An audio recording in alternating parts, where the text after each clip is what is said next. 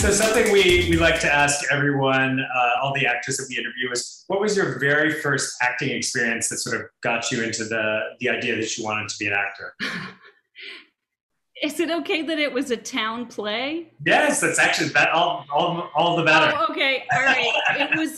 I think I was in fourth grade, and the whole town. I grew up in a little town, Concord, Massachusetts. Yeah. And everyone in town was auditioning for the town play, and the it was you know the gym teacher was running the auditions. It was a bunch of kids, and she said, "Okay, improvise."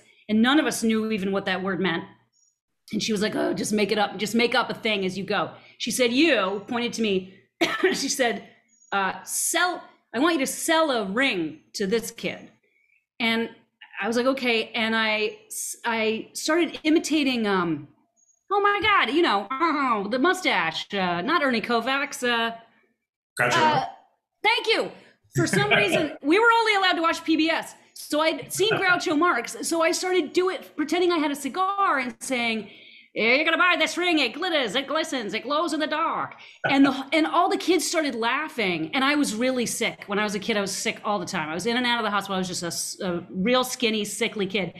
And that laughter, like people laughing, it was, I mean, it feels like like heaven or gold or like swimming in rainbows. Like it's it's such an amazing sound. And that's and i was like oh that's it.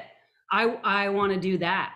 And um and i've gotten away with it so far. You've done pretty well right? Such a con. I didn't even go to i didn't really you know i didn't go to juilliard or anything